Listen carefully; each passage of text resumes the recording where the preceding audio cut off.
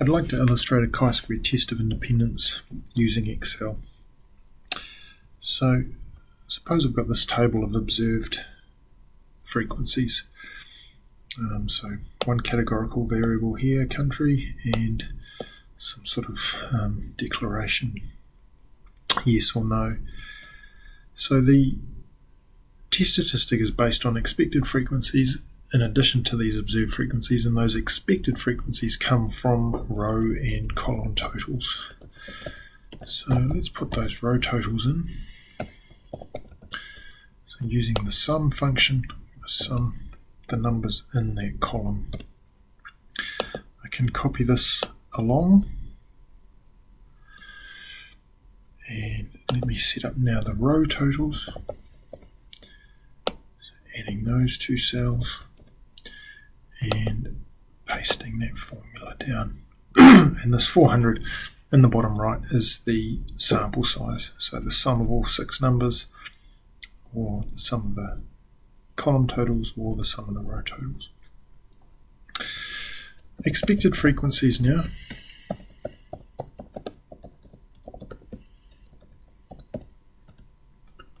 The formula for that is row total times the column total divided by sample size n. Now I want to copy and paste this formula so I'm going to lock in both the column and row of the sample size. D2 here is the row total and when I paste that down I want only the 2 to change. 2, 3, 4 but I don't want the column to change so I lock in the D. With the column total oops with the column total I don't want the row to change. So I'm going to lock in um, row 5 so now when I paste this down that updates and across it's evaluated that formula. This one here, let's have a look at the, the formula for that. It's pulled in the middle row total, the second column total, and again, sample size in. If I copy across these row and column total formulae, we can see that the row and column totals are exactly the same for the observed frequencies as they are for the expected frequencies. Now, the test statistic is based on the observed minus expected squared divided by expected. So, observed minus expected squared divided by expected.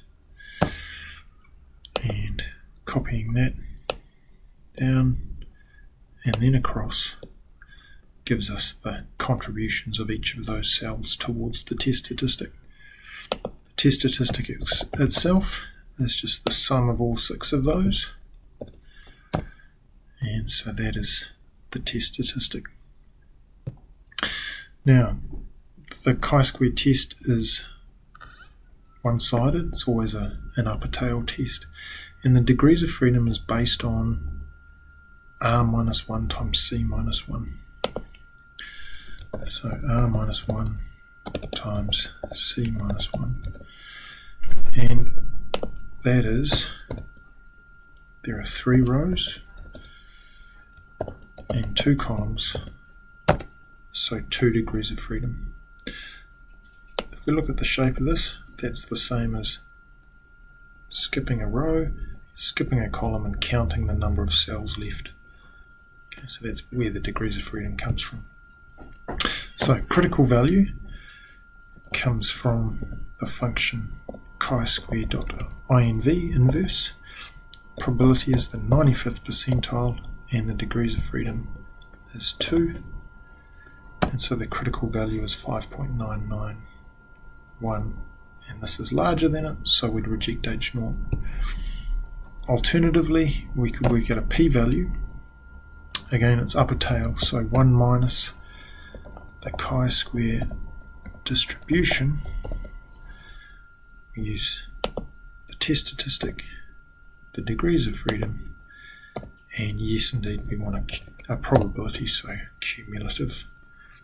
And um, because this test statistic is so deep in the rejection region, the p-value is very, very small, and again, we'd conclude to reject the null hypothesis.